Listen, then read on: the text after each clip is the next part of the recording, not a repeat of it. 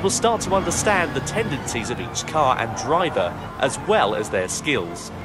If you feel that a certain driver seems a bit dangerous, or that a certain car is not used to racing yet, rethink and reposition yourself on the track so that you can avoid being involved in the chaos that they may cause.